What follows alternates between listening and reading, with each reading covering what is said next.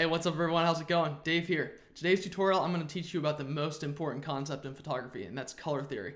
So in short, color theory just teaches you what colors look great together so you can stay away from colors that don't look great together. So we're going to do two things today. First, we're going to study my favorite landscape painter of all time, Albert Bierstadt. He's the master of color, so we can learn a lot from him, and I'm going to show you how to do that. Second, we're going to process this raw file from Patagonia from start to finish, and I'm going to show you how to apply color theory to it using the color wheel within Photoshop, the HSL sliders, hue, saturation, and luminance, as well as the color picker, which allows you to select different colors and apply them to your photo. So let's dive right in, we're going to get it started. All right, let's do this. I'm pumped up to teach you guys about this because it's one of my favorite topics. So Albert Bierstadt, take a look at all his paintings here. He painted as part of the Hudson River School. Uh, you can go to albertbierstadt.org, and I'll put a little link for that below as well, so you can check him out. And this video was made along with a blog post on my website that is extremely detailed, and it talks through all this stuff step by step. So it's great to see it through video. I'm going to show you guys how to apply it to your photos, but it's also great to read it because you're really going to pick it up and remember it that way. So reference the link below and above this video up here so you can jump on that blog post and check it out. Within Photoshop, first thing I'm going to do is discuss color with you, the RGB color model, color wheel, and all that good stuff so you can easily understand me while we talk about color theory. First thing you'll need to do is go into Photoshop and you can pull up the color wheel by going to extensions and Adobe color themes and that can pop up over here and you can organize it however you want. The second thing we need to discuss is how this color wheel is actually designated, what's going on here, how it works. So to do that, I'm going to pull up the HSV or HSB color scale. So this says value.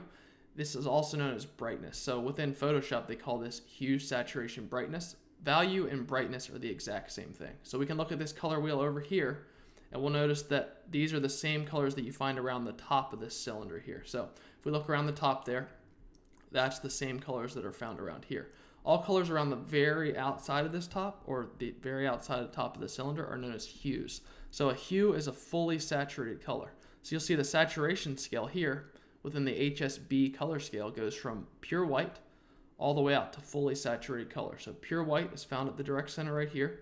And as we move out, that color is becoming more and more saturated. So if you add white to a hue, so let's say you have the blue hue right here. As you add white to that hue, it becomes less and less saturated.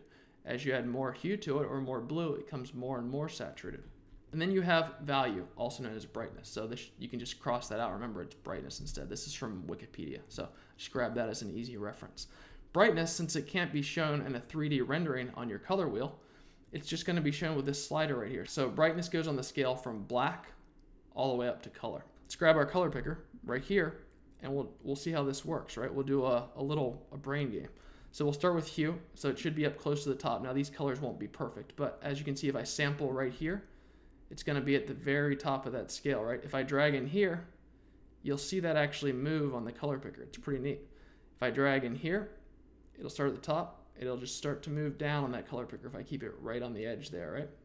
If I drag in here somewhere, you'll see that. So this square box right here, that's that same as that plane. If I pick over here, fully saturated color or hue, if I drag down this line, you can see the old color picker starts to move towards white, becoming desaturated. Adding white is tinting.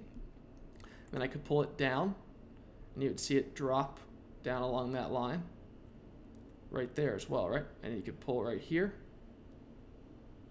and right here. So I just outlined that little square. That's that plane. And you could cut this any way you want. Those are just the planes that they show us for this specific. So hue, saturation, brightness. So now that you know how this little color model works, or color wheel, whatever you'd like to call it, and the color picker, we're going to jump into color theory. So within color theory, there is a term called color harmony. Color harmony just gives you a set of rules or different examples of different colors that look great together, which keeps you from mixing colors that don't look so great together. So if you're if you're taking a photograph or looking at a photograph and you're like, why does this just look off or why does this just look bad? It's probably because it's not part of a color harmony. By following different color harmonies, you can learn how to mix color in a really nice way. So before we start with color harmony, we have to learn a key concept and that concept is key color. Key color is the main color or dominant color in that work of art. Um, with looking at this, the key color is probably blue. So if we if we grab our color picker again, this is a really good thing to do. You can download Bierstadt's work on his website or online and do this.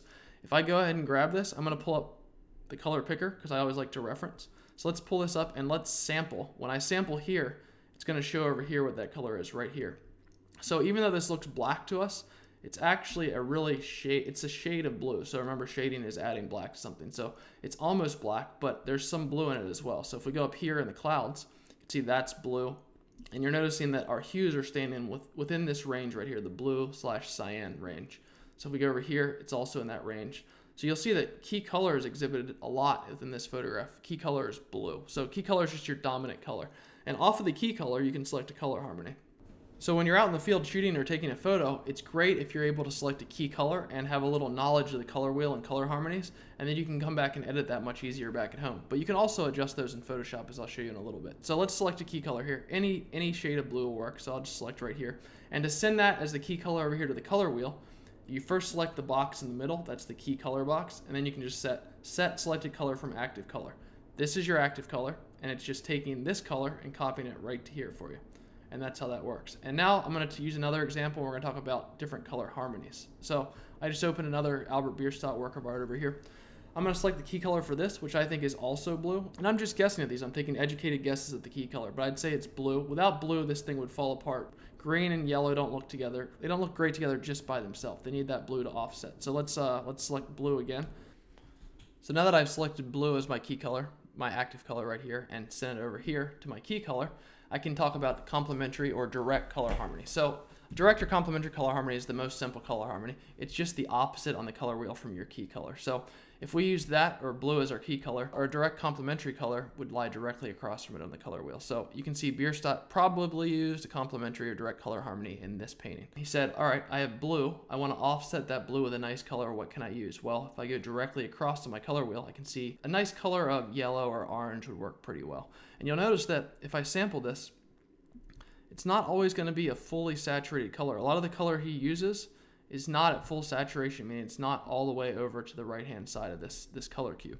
If I sample down here, it's not all the way over. This blue is not fully saturated either. This blue doesn't have much saturation at all. Remember, something that's close to white is less and less saturated. Something that's over here on the right-hand side is more and more saturated. You can see this saturation scale as I drag it from full saturation to no saturation that moves from 100% to zero. So you can kind of see the saturation value. So a good a good rule of thumb to keep in mind: things don't always have to be fully saturated to look nice and vivid in a color. These are very vivid looking colors, but they're not fully saturated colors. They look really nice together. So complementary color harmony, also called a direct color harmony, pretty easy to keep in mind. You can also offset that by using what are called warm and cool colors. Warm colors are found on this top right half of the color wheel. They're warm magenta, red, yellow, orange, and then cool colors go from like a, a cooler magenta to a cooler green around this bottom half. So those are also working very well to offset each other. You'll notice that if you pick a key color that is in the warm side, say we pick a key color like right here, it's in the warm side, the direct complementary of that will be in the cool side. So direct complementary is going to be warm versus cool. It's a good way to offset your photos and make them look nice together. It also helps the eye move from this nice light that's touching on the grass. It's going to start here. Your eye's probably going to start here, move up through the photo, catch this nice warm light right here, curl around here, and it's going to be like, oh, where do I go? Well, I want to look back here in this nice depth created through that cool dark color. So let's jump to the next one. The next one is light complementary, but it's slightly different. It's called split complementary. So to find my split complementary colors, first I'll select my key color with my color picker. I can hit I to do that and select any of these different different tones of blue up here. And it'll go to my color right here. I can set that as my key color. And the key color is right now. So let's talk about split complementary color.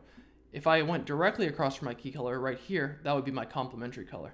Split complementary just lies on both sides of that complementary color, but it does not include the complementary color. So a split complementary would look something like this. The split complementary colors to that key color of blue would be this range right in here. So maybe like a, a yellow, different different color of yellow or different color of red or orange. Now just remember these don't have to be exact colors. They could be out in this range, they could be in here farther, they could be shifted over a little bit. They just have to be in the close range. And if you get too far out of that range, you'll notice that the colors no longer look good together. So if I go over towards magenta, that's not really split complementary anymore because that blue and magenta wouldn't look too nice together. So if we sample throughout this, let's do a little study of, of this painting. If we sample here and we pull up our color picker, you're going to see that these aren't very saturated as well. Uh, up in the sky, the blue clouds, they it's a it's a very blue sky, but you'll notice that the saturation value is only about 50%. So saturation here is only about 50%. If we went way over here, it would probably just look unnatural. So just watch that saturation slider when you're working in Photoshop. Our eyes can kind of fill in or our brain can kind of fill in the rest if we're looking at this. Another thing to keep in mind, as we talked about warm and cool colors, right? When light hits an object, it's going to normally display a warm color. So let's think about this. This, uh, this, this rock up here, this is Yosemite Valley before it got destroyed by us, the human tourist when light hits this rock, even though the rock is probably gray or dark, if we sample the rock, you can see it's it's it's displaying as pretty warm. It's displaying as a light color, somewhere in the orange range. Same with this grass down here. Uh, the grass might be yellow or orangish, but it's definitely getting hit by some light from this light source, so it's going to be displaying the warm color range. Remember, warm colors are up here, where cool colors are down here. Cool colors are normally displayed in shadows, where if I look back here at the falls, even though the falls are naturally white or who knows what color, maybe like an off-white blue, they're displayed back in the shadows. So he used this bluish color. If we pull up the color picker, it's kind of a, a desaturated bluish color to show that that's back in the shadows. It also adds some depth compared to this warm orange right here of the trees. So really nice split complementary colors there. Once again, I'm just taking a guess at this. I think this is probably a split complementary color harmony. So analogous color harmony, let's talk about that one. I think they might have analogous here. They do. So if we look at analogous, first let's set our key color. I bet you can guess what it is this one. It's it's probably like a red or an orange. So let's pick it right here. Active color. Send it over to key color. And there we go. So analogous color harmonies you can see. Here's our key color. And on both sides of that, the different range of colors are analogous. So within this one, you have all different range of warm colors. He's using warm up here. Uh, he's using warm throughout here. Um, if we sample this blue or green. Let's see what it actually, let's see what actual color it is. Sometimes what your eyes see as a different color don't actually show up as that color in the color picker. So it's a nice trick. You can also look at stuff in nature, like look out over a landscape when sunlight's hitting a bunch of trees. You'd think that trees are green, but when sunlight hits them, they're not really that green. They're like an off greenish yellow color. So always study that stuff when you're walking through the woods. It'll help you be a better landscape or travel photographer. So if we look at that, these are still in if, if even when we hover over them, they're still very close to being like different uh, different colors of warm. Um, we're still down in this hue range, so we know we're, we're still in the warm color range. It just looks off to our eye because they're less and less saturated, right? So all he did is desaturate that or bring it towards white and probably brought it towards black a little as well. So another term, another art term you guys can use is you have tinting, which is adding white to something. So we go tint. If you add black to something, you're toning, you're also darkening. But if you add tone, if you tone something, it's basically adding black and white or gray at the same time. So it'd be going from here, and if you add black and white at the same time, that'd be toning something. So shading, adding black, tinting, adding white, toning, adding gray. It can be any amount of gray. It doesn't have to be 50% gray going right down the middle there. So just a few things to keep in mind. If you hear people say tint, shade, and tone, that's what they are. So that's the analogous color harmony. You just select your key color and it's colors on both sides. Now these don't have to be perfect. They could they could be at different areas. Uh, that doesn't have to be perfection, right? You can you can display them out a little bit, um, but if you go too far out here, you get too wide. You're gonna be out of the you're gonna be out of the color harmony. If we had like a key color and then mixed it with green, it wouldn't look so good. So it might be analogous, but it's not a color harmony. So that's a nice thing you could use for sunrise, sunset. This works very well. So let's pop over to the next one, which is Triadic. This is one of my favorite paintings of his. I'm not sure where it was taken. It could be like California coast. He did a lot of painting in Washington. He did a lot of painting in California, the Sierra Nevada range. Beautiful area. Let's look at this one. And it's the triadic. This is also called the triad. So the first thing we'll do is we'll select the key color. It's probably green or blue. With triad, it doesn't matter as much. So let's select blue again. You'll notice he uses a lot of blue in his photos, or his paintings, I should say. Active color, select key color, and triad. All right, you can see that the triad is just evenly spaced around the color wheel. So you have the key color, and then evenly spaced around that wheel are the triad color harmonies. So let's look at this one. He said, I have a key color that's probably blue. So he decided to use a color harmony of like some yellow and some green in here. So I bet this color right here, this range, is going to be right in here. If we pull that up, you can see that it is. It's right in this region. If we go down here, it's some blue in there, and then he uses some yellow or orange as we can see over here down in this region with the seal. So this is kind of saying there's some light source coming in and shining. Uh, there's all this light getting hit by the wave, so the light's probably coming like right in here. Anything that's getting hit with the light source is going to be in the warm half of the color wheel, where all shadows will probably be in the cool half. So even though this rock is the same color here as it is here, you can see that the color is going to change a little bit. Another tip he used here is he uh, he, he put things there in the foreground and made them darker, and that haze came into the background. He added depth by adding some nice light and some misty haze back here. Thing became less and less defined. You can see nice detailed, sharp edges here in the front close to you, and as that light transitions into the back, things become less and less sharp, and that provides depth. You can do the same thing using like a Gaussian blur within Photoshop, or if you have real fog out there when you're shooting landscapes, as you often do in the morning. When he's doing this, anything that's going to be hitting with direct light source, you can see if things get really, really bright, they're almost going to display white, right? So even though this seal is black, it's getting touched by light there, so it's almost uh, completely white. So things that get hit by direct sunlight, the more and more sunlight they get hit by, the closer to white they get and less saturated. So if something's hit by really, really bright sunlight, it's probably going to become fairly close to white. Like this green ocean or this dark green ocean hit by light got whiter, right? So you go from dark as it goes up here, it's going to get closer to white or it's going to get lighter and lighter. And this is the last color harmony we're to talk about, and I'm going to show you guys how to apply this to your photos. Let's talk about the square, or also known as rectangular color harmony. Let's see if they have this for us. Uh, they do not, but that's okay. They have some other ones you can play with, though. So the square color harmony, I'm going to make a custom color harmony. Uh, let's look at this one. I think the key color in this is probably green or blue. It's definitely a dark or a cool color. So let's uh, grab our color picker Let's see how the key color works if we select like a, a greenish color. I need to take this off. So maybe like a green or a blue. I bet these green shades are almost in the uh, in the blue hues. See how they're working up close to cyan right there. We could select, I don't know, somewhere in here. And I'll hit OK. And then I'll select that as my key color. So if that's my key color, a square, you're just going to offset these all by the same amount. So a square would look like a square. All your color harmonies are square. So you have something like this, and you can you can space them as as you like. They don't have to be a perfect square. Let's go right here. Say something like that. So you can see my key color. Then you have directly across from your key color, which would be a complementary. And then you have another form of complementary colors, which make up a total square. You could also move these out further could do like a rectangular kind of pattern. Anywhere in there, they're going to work pretty well together. This is a very hard color harmony to utilize because there's so many different colors in it. So let's see what he did here. He has the blue, which is right here, that's exhibiting up in here. And remember, for color harmony, they could be anywhere in or out, less or more saturated. As far as lighter or darker as well, you can increase or decrease the brightness. The key is that they lie in a certain range of hues. Then the green, he has green here, uh, hitting when light comes in and hits, it's going to make that green a little bit more saturated. Then Far out here, he's got reds. Up on Mount Adams here, there's some touches of red here around the edges. And then we have yellows down here where the Indians are.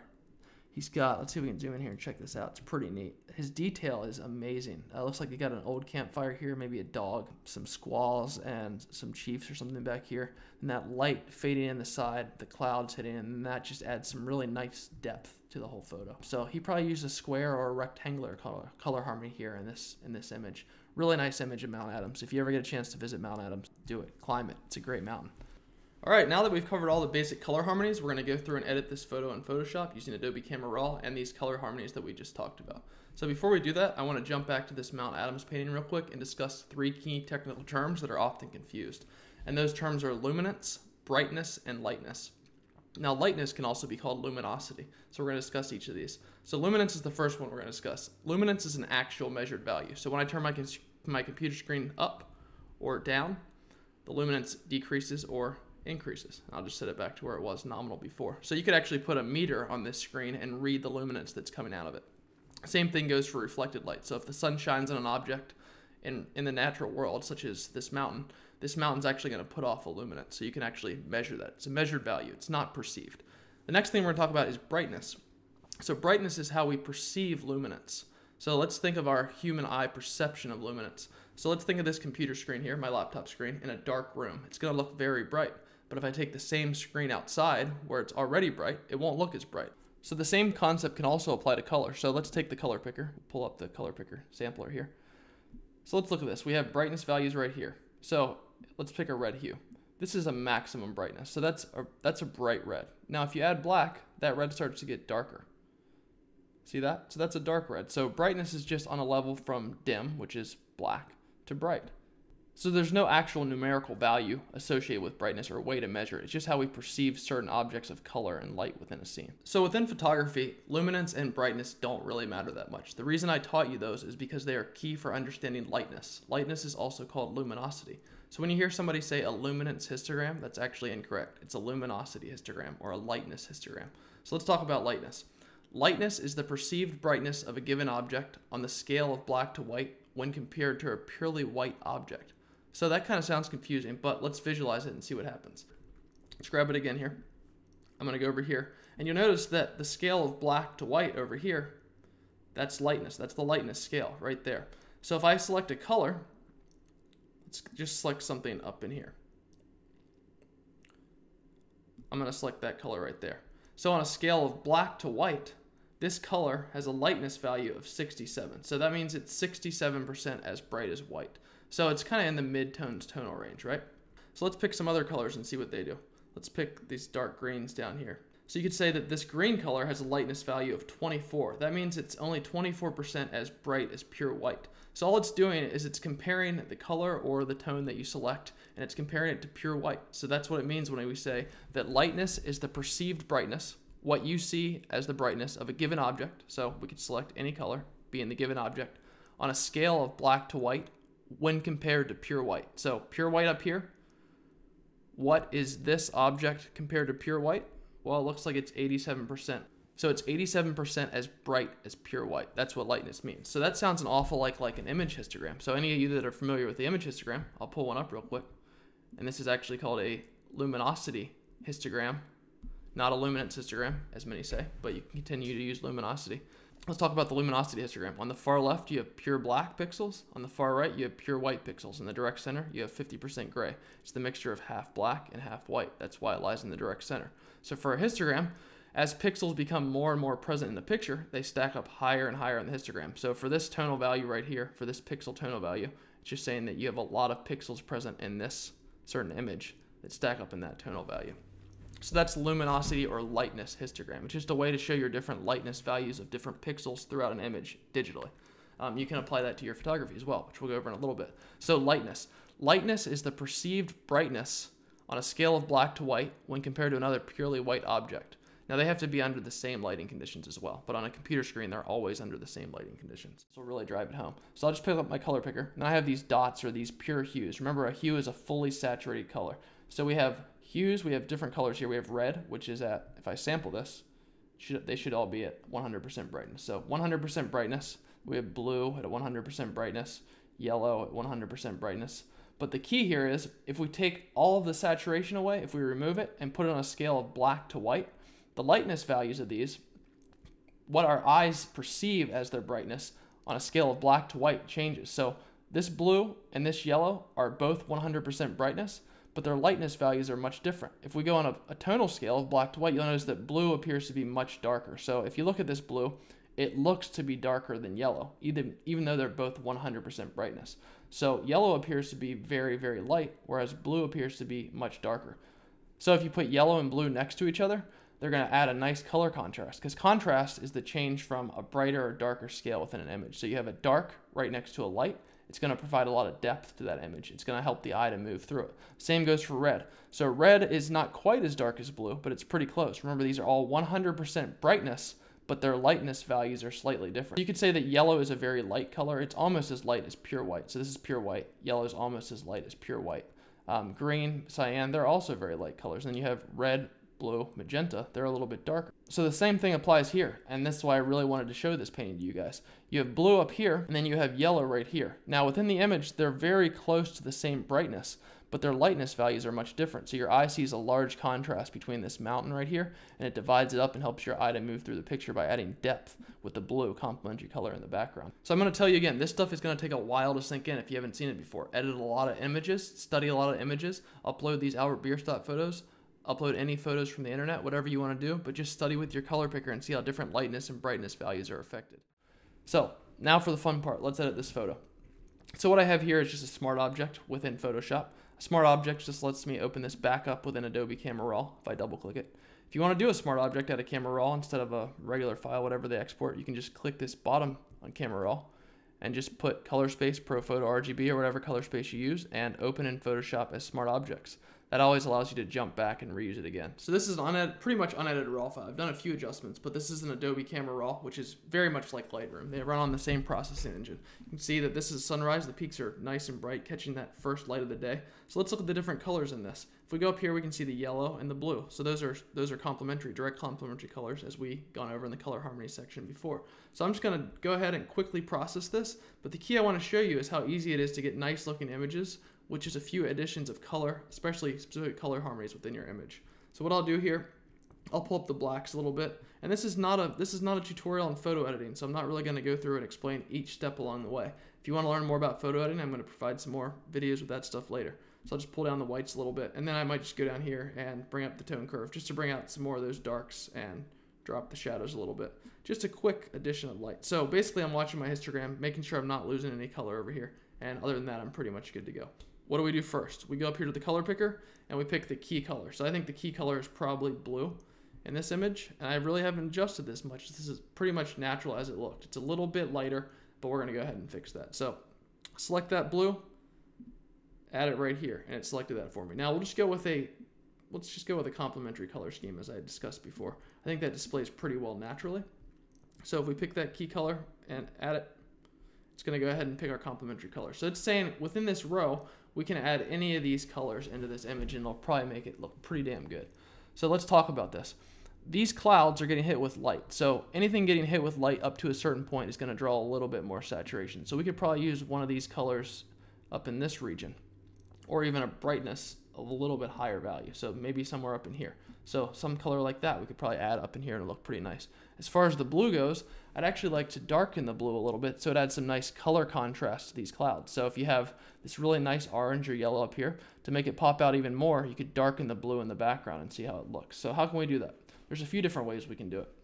I'm just going to show you guys how to do it really easily with Adobe Camera Raw as well as your paintbrush tool. So first thing we're going to do is just make a duplicate of this. So we'll go up here to Layer, Smart Objects, New Smart Object via Copy.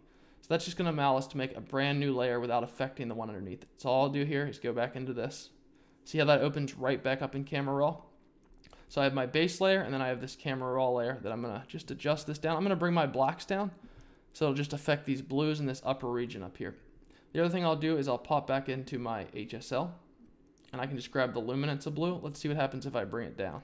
See how that's adding some nice contrast up here? Now watch out, if you get too far, it's going to start to get funky around the edges of this cloud. So you got to really watch that. So maybe right in there starts to add some really nice color contrast before going overboard. If you go overboard, see how it started to get nasty around the edges? You just got to watch where it goes and keep it looking natural.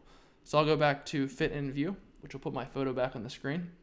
And if I wanted to, if I felt like this blue was too green or it had a weird funky color in it, I could see what happens if I if I move the hue. See when I'm moving the hue, it's pulling all the green out of that blue. So if the see how if I pull it that way, it's getting a little bit green. So from training my eye, I can tell that there's a little bit green in that blue. So I'm just gonna pull it this way to get it out of there. See how that's starting to look nicer and nicer? It's because we're aligning our colors within that complementary color harmony. The other thing I can do here is go to my saturation and I can just put a saturation. I want to saturate this a little bit more and maybe some of these peaks. So I'll do it a little bit here. See how it looks. If I go overboard, it's going to start to look crazy. But if I do it a little bit, it starts to look nice.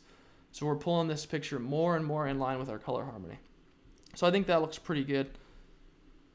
And I'm going to drop the exposure just slightly. So I'm just watching this section up in here and post-processing for that section. In a second, I'll edit for down here as well. So I'm going to click OK. Let's see how that looks compared to the other one.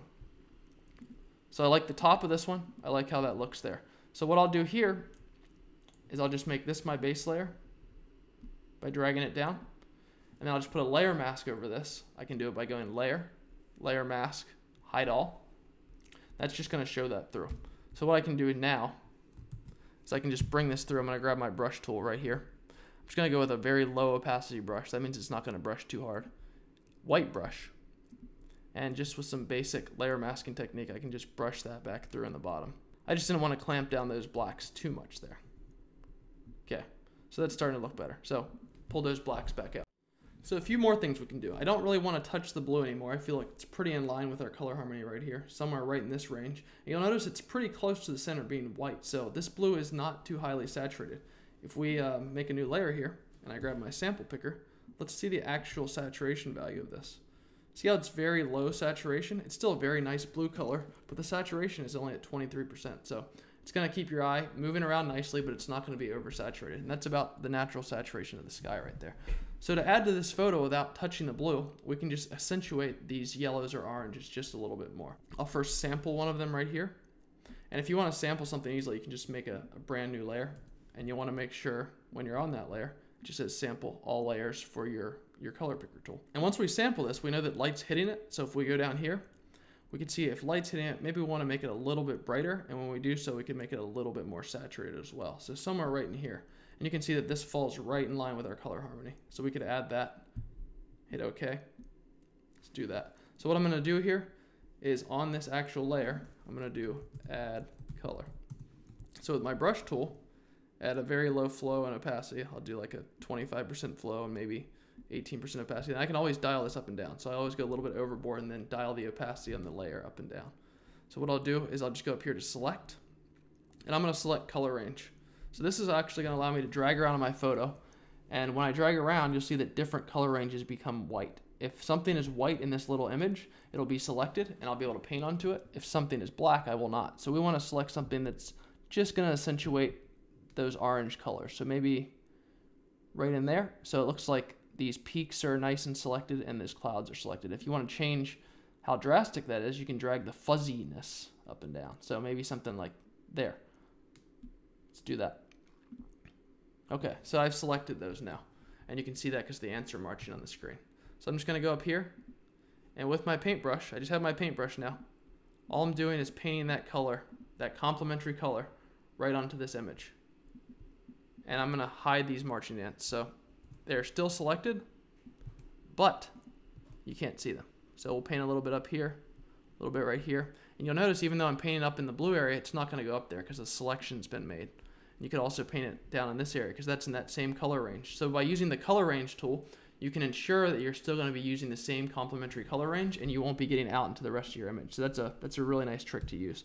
If you want it to look like a nice a nice image, just keep that saturation value pretty low. We can pull up this. We could if we wanted to saturate it more, we could go this way a little bit more. Let's see what that looks like. We can always pull it back off. See how that's getting a little bit too much there? So maybe I'll go with like a 30% and try that a little bit. Zoom in on these peaks are just awesome looking. Look at those glaciers. It's, it's amazing. Um, huge glaciers and cloud systems coming off of that. You can just hear these crashing all over the place when you're camping out there. It's great and I'll just add a little bit more down here. And the key is not to add too much of that complementary color. You want to have it where those touches light are. Remember, things that touch light are going to be in the warm side of the color wheel. Things that are cool in shadow, like these blue, will be in the cool side of the color wheel. They'll be much darker. So anything that's warm, brighter. Anything that's cool, darker. In most cases. There are circumstances when that does not happen, but usually not. So let's take a look at what this did here. Add a touch more over here where that is and there. And then you could even do back here where the light's barely touching. Remember, I do have a selection made, so it's going to help me to, to make that little brush stroke right there. I just love zooming in on these and, and seeing what they look like. All right, so let's zoom back out. We'll do it before, after, before, after. And what you can do here with the opacity is just dial it down until it looks good to you. Now you can see that I painted through too much there. It kind of started to destroy the actual detail on that cloud. So that's what you got to watch for. And you can also turn this to color. So what that's going to do is it's not going to change the actual details of the image. It'll just affect the colors. You can bounce back and forth of those and see what you like. Let's see what it looks like on, yeah, see how that's starting to add a little bit of color? And let's try it on the normal again. It's too bright there. I could dial it down. So like right in there, before, after. See how that's starting to add little touches of orange, but it's not going overboard, right? It's just adding some nice detail. So the last step I'm actually going to take is to develop that color a little bit more. I added some color in with my paintbrush here and I'll develop it out a little bit more. So to do that, I'm going to hit Shift Alt Command E. That's Shift Alt Control E on a PC. That just makes a brand new layer, which is the combination of all the layers below it. So I'm no longer working with smart objects. I'm out of that game. So this is one of the last steps you want to take. So there's a few different things you can do. You can use the Dodge tool, the Burn tool, or the Sponge tool. So I'll jump over here as well, and we'll paint some more Dodge in there. So I'll go here, and right there. And now I'm actually going to deselect this so I can jump out of that color picker tool. The key to remember here is if you deselect things after every step, then you'll want to make sure that you don't have that selection going anymore. So I had a selection going. It was still working a little bit because that color picker tool was in the same color range. But if I really want to affect everything, then I have to take that selection off. So now I'm just working on the, the whole image. And watch out when you do that because it's going to try to brighten stuff that you may not want to be brightened. So I might go up here, put a few touches of light on these glaciers just to balance out the tone. Maybe right there as well. And here. You could also use what's called the sponge tool. Sponge tool will bring more color into the image. So let's let's go with a little bit of sponge tool. You see how it says saturate? Just watch how heavy-handed you use this. It will develop color very nicely and very quickly. So it will develop this orange color through here. And we could use some sponge there. And a little bit of sponge down here maybe. Just watch out how heavy-handed you go with that. And we'll do a few more touches of sponge right here. And maybe up on here. The key that I don't want to do is touch that blue because it'll just it'll oversaturate the blue. All right, let's see what that did. Before, after, before, after. The key here is just to build slowly one layer on top of the next, and that's how you get really nice looking natural images. And you could do a little bit more down here if you wanted. You could also go with just a little levels or contrast adjustment. So if you wanted to boost this up a little bit more, you just bring the midtones up, bring the lights up, and then darks down, maybe just slightly. Try that. And all I'm doing is contrasting this a little bit more down here because it's a little bit flat, I think. So if I wanted to, I could just mask that out by hitting Command or Control I. And since we know we have a light source coming in right here, it's acceptable just to paint this through. So I can just hit D, that'll make a black and white brush. I can cycle back through with X, and I'll just paint right through here. Now I want to go with a higher flow and opacity because I don't want to paint on that all day long. I prefer to low, lower flows for color, but higher flows if other adjustments are going to be made you can just poke that through right there as well and balance that out. So you go, see how it looks. Maybe something right in there. I think that looks all right. So this image is done, but let's go back to that crap I was rambling about earlier with lightness and brightness. Let's talk about this. If we have a light source coming in here from the side of the scene and hitting these clouds as well as the mountain and this sky back here, then the brightness of both this sky and these clouds are the same. Now the perceived brightness or lightness is going to be much different. So the sky back here being blue has a much lower perceived brightness than orange or yellow. So that's why this nice color contrast is provided here. Same brightness, but the perception of that brightness is slightly different. So if we look at our image histogram, we can see that we have blue, we have red, we have these spikes of red here, which are showing these little spikes in these orange and red areas right here, and we're not blowing out any of the color channels. So that was key there. I know that this is very early in the morning, so most of my tonal values are going to be in the far left-hand side of the histogram. There's nothing pure white in this entire image. Um, that's one big mistake that I've often made and many others often make as well, is that they think clouds are white, so they want to pull this tonal range all the way over here to the right-hand side. Well, that's completely wrong. Keep your colors nice and saturated, but don't oversaturate them, but make sure they stay in the right part of the tonal range. So luminosity, lightness, brightness, all that good stuff, keep those in mind when you're going through and editing photos.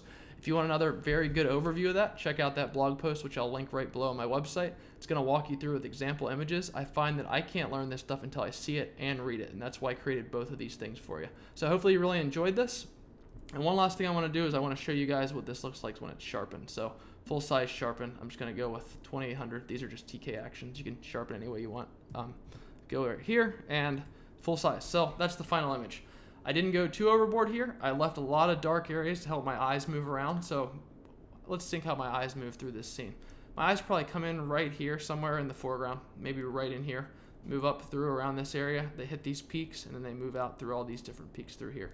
I have this nice complementary blue color up here, color contrasted here, and then that touches a light that plays off the blue above, and a few touches of orange in the foreground. So complementary colors there. You can use any different kind of color harmony, but the key is to find that key color and find a color harmony that works for your specific photo. So hope you guys enjoyed that. Have fun, and thanks for tuning in. Later.